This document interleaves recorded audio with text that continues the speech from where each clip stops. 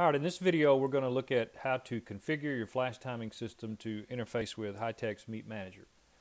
So the first thing we need to do is open up the Meet Manager program. Uh, now this after you have the program, all the entries put in, everything seated and are ready to run, you need to go to the Setup tab the very top.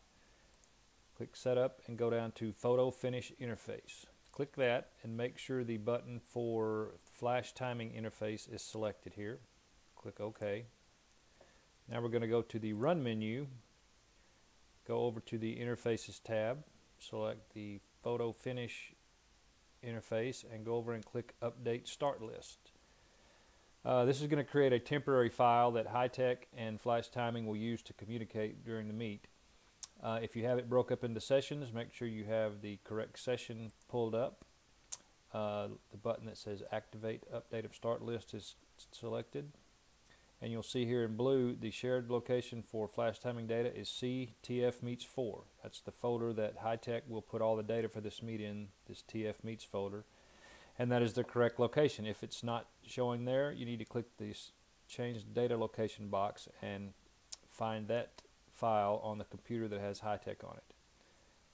So that's once we do that we're going to click OK. You're going to see you get a note that says you've successfully saved the start list to this CTF meets 4 folder so once we've done that, we're going to exit out of this program and we need to open up our flash timing program. Now I do not have a camera connected to this right now. Uh, if, you, if I did, you would see the camera image in this box here. Uh, but the configuration process is the same. We're going to go over here to this little configure box, click configure.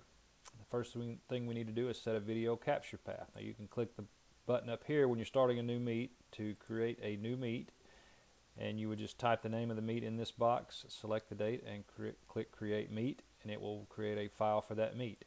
Uh, since I've already got a folder set up, I'm going to select an existing meet folder, and you see down here in blue it tells you the path for the video capture is going to be these flash timing videos in this folder that I've selected. So I'm going to click OK on that.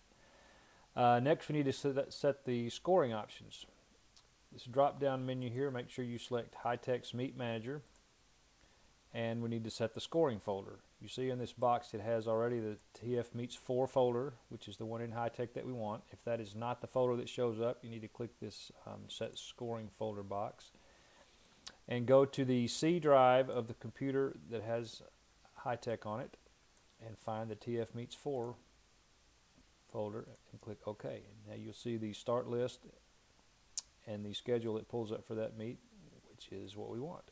So once you have that done, click OK. You'll see the meet schedule over here on the left hand pane and you are ready to time the meet. Anything more you need, feel free to contact me at rick at flashtiming.com.